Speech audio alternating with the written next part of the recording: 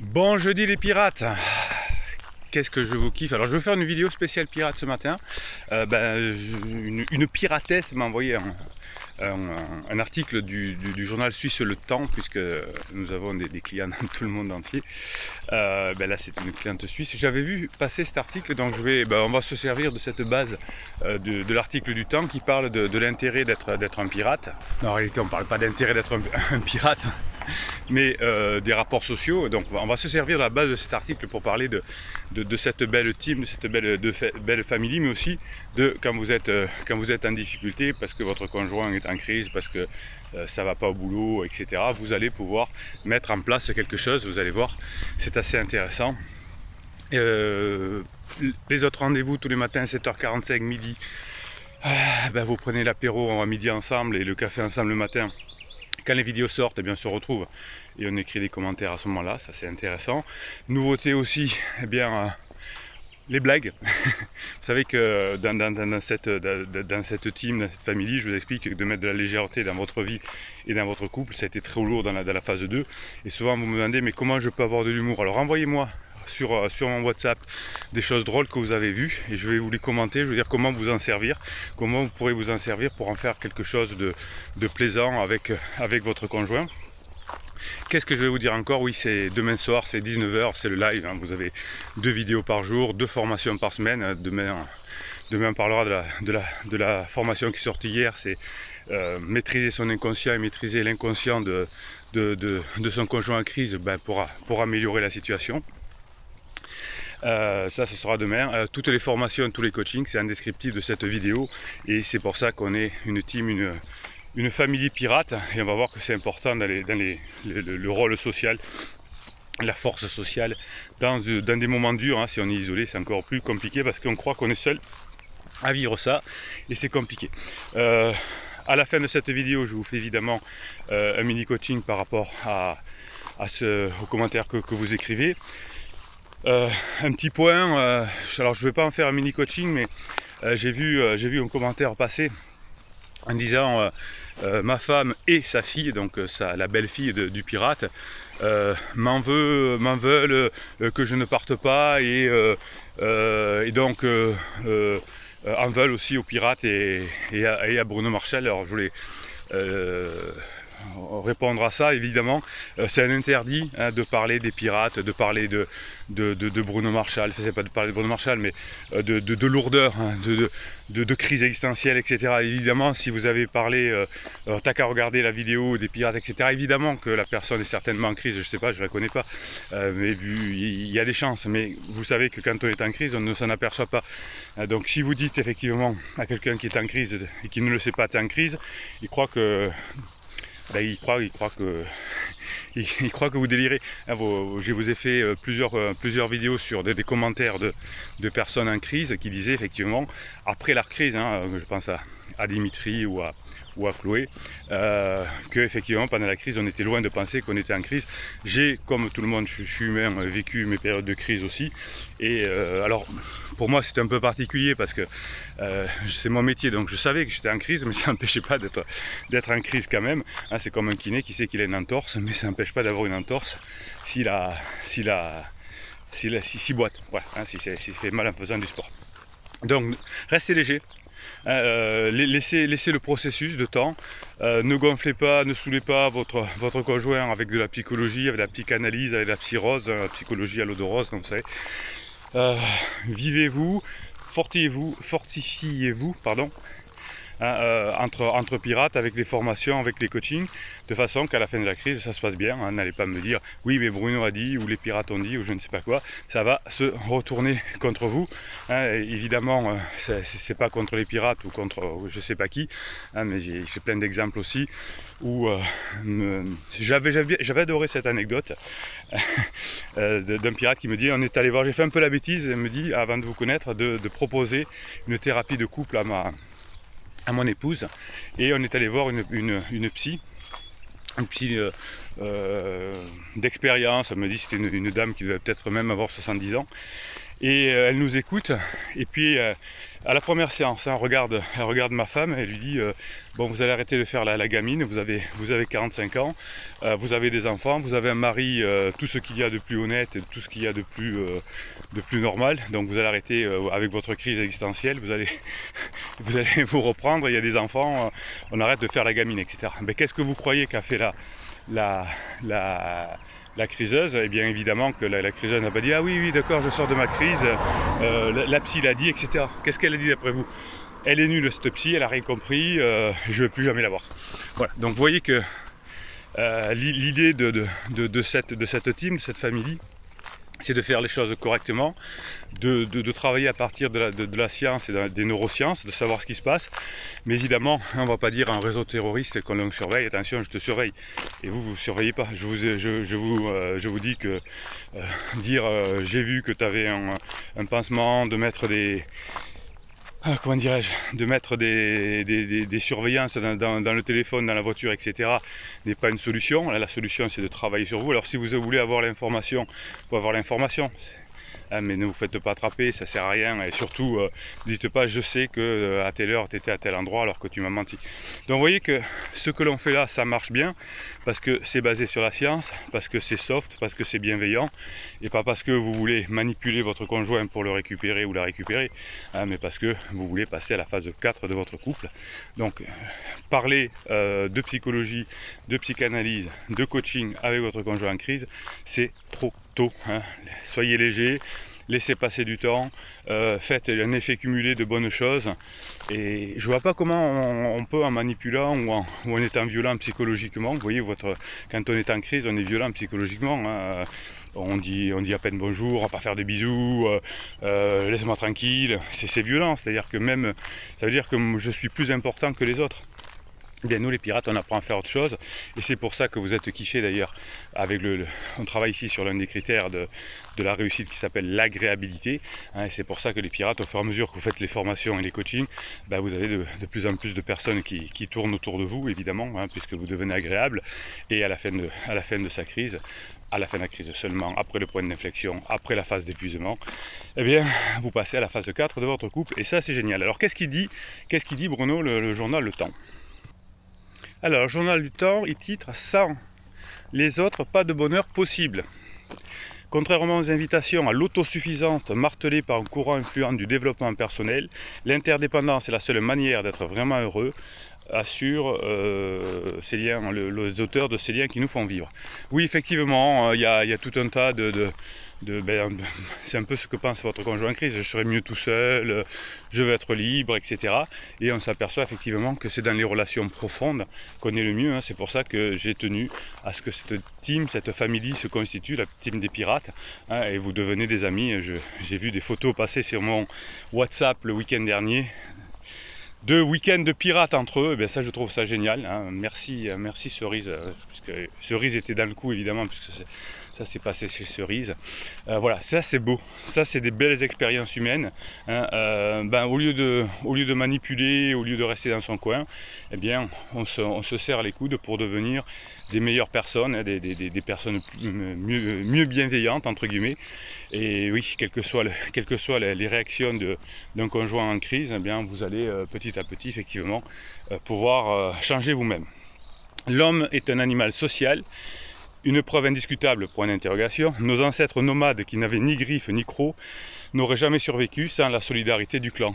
Ça c'est bon ça, hein, c'est sans les pirates, c'est dur de survivre à la crise de son conjoint. Une solidarité de survie qui régit encore dans les régions défavorisées de nos planètes.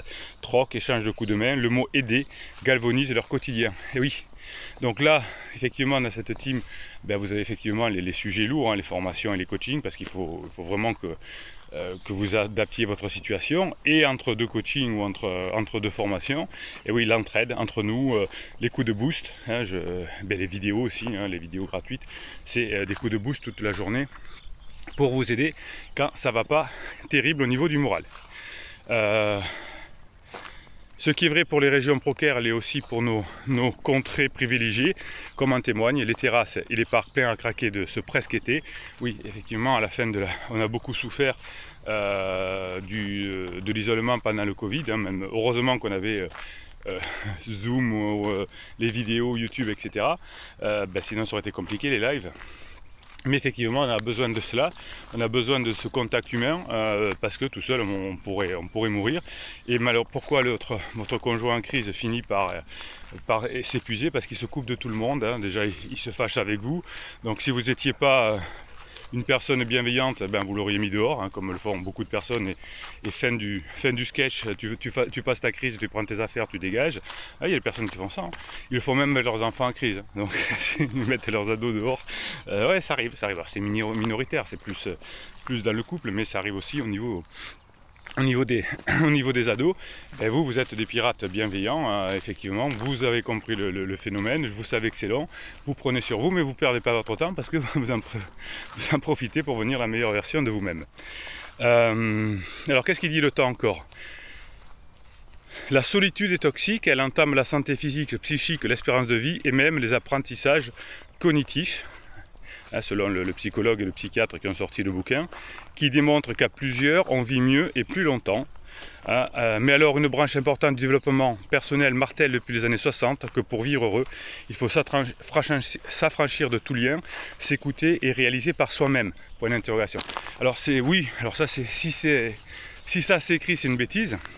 En revanche, euh, vous avez une formation qui s'appelle comme ça, qui s'appelle dépendance affective. Il ne faut pas être dépendant affectif des autres, évidemment, il faut vivre avec les autres, en compagnie des autres, en créant du lien avec les autres. Mais si vous êtes trop dépendant de votre conjoint, ben vous n'allez pas être heureux parce que votre conjoint ne peut pas tout vous apporter, effectivement. Euh, vous voyez que pendant la période de crise, le pauvre ou la pauvre, elle ne peut rien vous amener du tout parce qu'elle pense qu'à elle, elle pense qu'à lui. Euh, donc on ne peut pas être dépendant affectif. On peut à la limite, on peut être dépendant pour ses enfants. Hein, on va faire des choses pour ses enfants. Mais euh, entre avoir un lien et être dépendant, ce sont deux choses totalement différentes. Donc finalement, si euh, tout un tas de développement personnel a dit qu'il fallait, qu'il fallait s'affranchir du lien, effectivement, je suis d'accord, c'est une bêtise. Un des freins à l'interdépendance, point d'interrogation, la peur de se sentir exclu, rejeté, à l'image de Chloé qui préfère rester chez elle plutôt que de revivre l'expérience de sa dernière soirée. Alors qu'est-ce qui se passe? Je vous laisse un peu de suspense parce que euh, j'ai un endroit un peu difficile à passer. Voilà. Je vous ai montré ce matin la campagne, non, je crois pas. Hop. Lorsqu'ils sont arrivés à ce dîner, elle et Paul, seuls quelques convives les ont salués. Oh, c'est terrible. Euh, euh, les autres, accaparés par leur discussion, n'ont même pas levé les yeux. Hein. Et les amis étaient forcément peut-être, c'était sûrement pas des pirates qui apprennent, le critère essentiel pour réussir, l'agréabilité. Euh, Paul, Paul s'est assis à manger, parler rit. Chloé s'est senti mortifiée toute la soirée. Ah, vous voyez, c'est senti. Hein, quand, vous dites, je me sens ou j'ai l'impression, hein, ça veut dire que ben, euh, vous n'êtes pas dans, le vrai parce que les impressions et le je ressens, ça peut être bon, hein, mais généralement on passe à côté. Je vous ai fait des vidéos là-dessus. Euh, donc euh, Chloé s'est sentie mortifiée et au retour a doublé son infortune d'une scène de ménage avec son compagnon lui reprochant de n'avoir pas ressenti l'outrage de la même façon. Bon, mais vous voyez, ça c'était la phase 2, hein. ça c'est la phase 2 du couple. Hein. Vous voyez, euh, vous en êtes loin, hein, mais ça peut vous rappeler des choses. Vous vous engueulez après une soirée parce que votre mari, votre femme ne vous a pas euh, traité assez avec euh, d'humilité, avec assez d'afférence ou les autres, ou on ne l'a pas défendu, etc. Donc là, vous voyez que c'est une interdépendance négative. donc l'interdépendance positive, c'est vertueux comme les pirates avec votre team et avec votre communauté et avec votre famille. Mais le bonheur et la sérénité, hein, ça ne vient pas de la, dépendance affective, mais ça vient de cette interdépendance bienveillante. Voilà. Alors, ben, l'interdépendance bienveillante, c'est de vous aider entre vous aussi. Donc, vous m'envoyez sur WhatsApp des, messages ben, la journée, et puis je vous les mets sur Telegram, l'application Telegram. Vous avez votre canal qui s'appelle Canal Bruno Marshall, et je vous mets des ressources que vous envoyez, et c'est pour ça que va vous créer petit à petit quelque chose qui est très fort entre, entre vous, entre nous d'ailleurs, hein, et euh, ben, qui vient être en complément de, des, formations et des, et des coachings évidemment. Tout est complémentaire.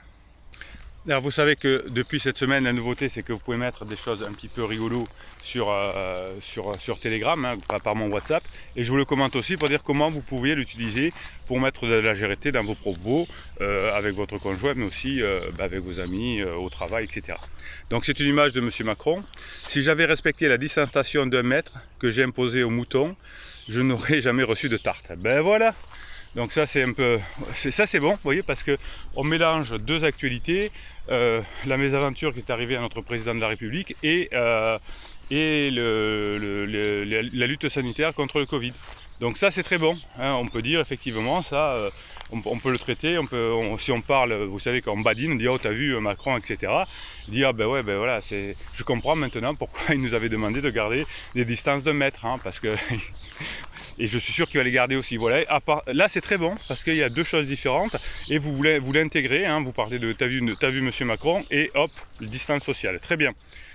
Ça coûte 0 euros 0 ouvrir, ça coûte 0 euros d'ouvrir son esprit et d'arrêter d'être con. Eh oui, ben c'est ce que vous faites là hein, en regardant ces vidéos avec les formations et les coachings. Oui, vous arrêtez. D'abord, vous n'avez jamais été con. Ah, mais c'est vrai que quand son conjoint est en crise, l'impression qu'il est con. Papa, c'est quoi un homme? Mon garçon, un homme, c'est celui qui s'occupe de sa famille, de sa maison, qui veille à leur sécurité et que personne ne manque de rien. Il dit Ah, papa, quand je serai grand, je veux être un homme comme maman. Mais c'est joli. si vous êtes une femme, vous pouvez, vous raconter ça. Euh, euh, alors, comment vous utiliseriez ça? Et vous dites, bah tiens, euh, c'est une collègue du bureau qui m'a dit, oh là, il est arrivé un truc à la collègue du bureau, et vous racontez l'histoire, et, vous le dites, euh, vous dites, c'est arrivé comme ça. Et là, le petit garçon lui dit, ah, bah, comme toi, maman, alors. Donc vous racontez l'histoire, si vous êtes une femme, c'est mieux, hein, c'est à table, le petit garçon qui dit à son papa, qu'est-ce que c'est? Le papa dit, euh, c'est celui qui s'occupe de sa famille, de sa maison, qui veille leur sécurité et que personne ne manque de rien. Donc la côté sécurité, vous voyez que le papa, a oublié l'aventure. Hein. Donc euh, à mon avis, danger pour le couple.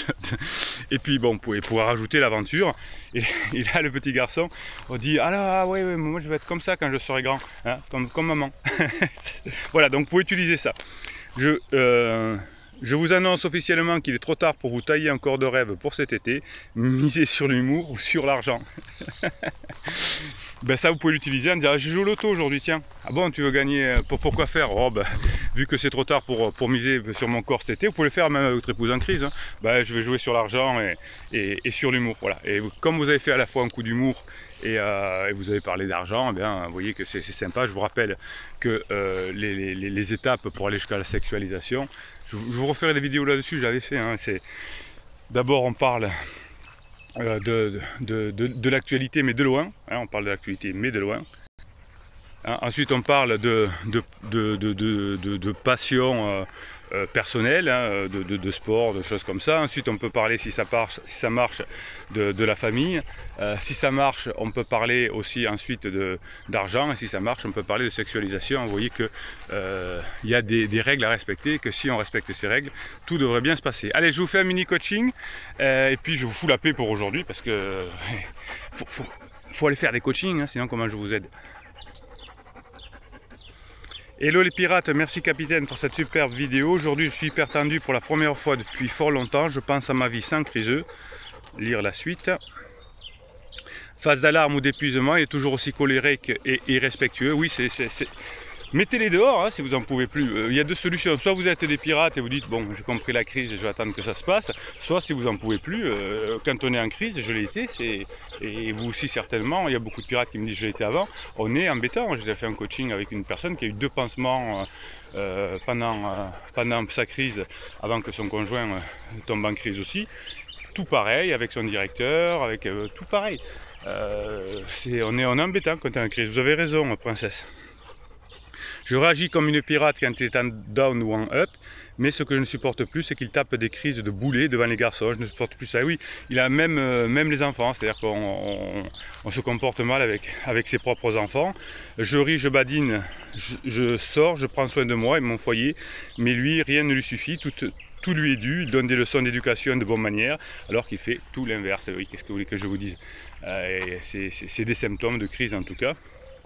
Je prépare mes vacances de thé, je ne fais plus attention à lui. Oui, ben, c'est sûr que quand il est en dents, vous faites autre chose, hein, il n'y a rien à en tirer.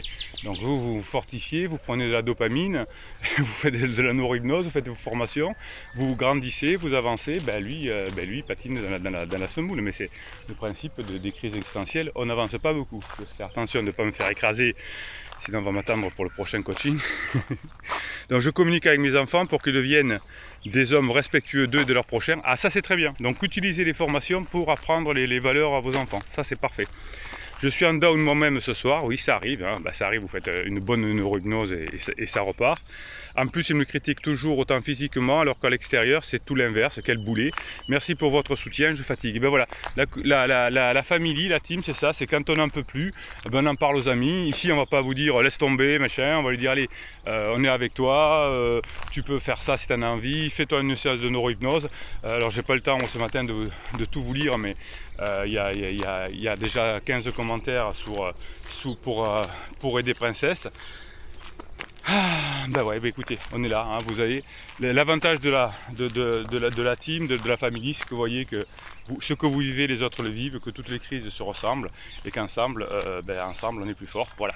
Allez, je vous laisse parce que j'ai un coaching qui commence dans quelques minutes. Les coachings, les formations, c'est en descriptif de cette vidéo. On se retrouve, ben, on se retrouve à midi hein, pour la prochaine réunion et demain, vendredi, comme tous les vendredis, à 17h pour le live. Allez, Bruno Marshall, il vous dit, mettez plein de commentaires, de pouces en l'air, c'est comme ça que votre team, euh, votre famille euh, grandit. Et puis, voilà, mettez des pouces en l'air, des commentaires, abonnez-vous à cette chaîne, faites ce que vous voulez. Mais ensemble, on est plus fort. Allez, bonne journée à vous.